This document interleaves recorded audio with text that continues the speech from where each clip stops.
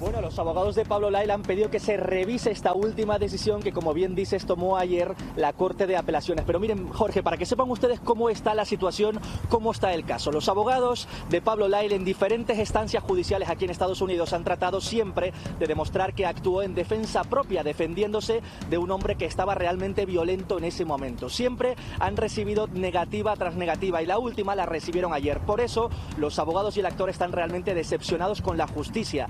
Ayer hablamos con los representantes eh, legales de Pablo Lal y esto fue lo que nos contaron. Los escuchamos.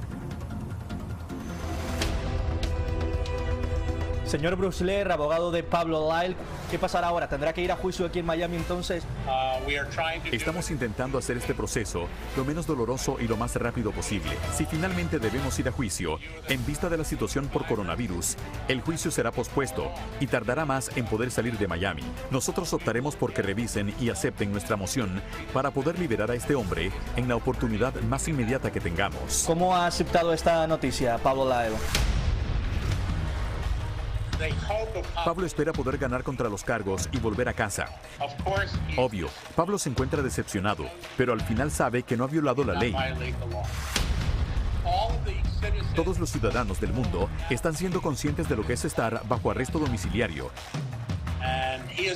Y él lo ha estado durante meses, meses y meses. Ya lo escuchan, Pablo Lyle está decepcionado y seguramente tenga que ir a juicio aquí en Miami, pero veremos lo que ocurre durante los próximos días. En cualquier caso, compañeros, nosotros también quisimos saber cómo se encontraba la otra parte. Mercedes Arce, la pareja del hombre, de la víctima mortal en este asunto, se encuentra celebrando esta decisión de la Corte de Apelaciones y también el hijo de Juan Ricardo Hernández, que dice que no va a conceder ninguna entrevista, que no quiere participar en este circo, pero que se encuentra esperanzado en que finalmente Pablo Lyle vaya a juicio. Esta es toda la información que tengo para ustedes, compañeros. ¿Te gustó lo que acabas de ver?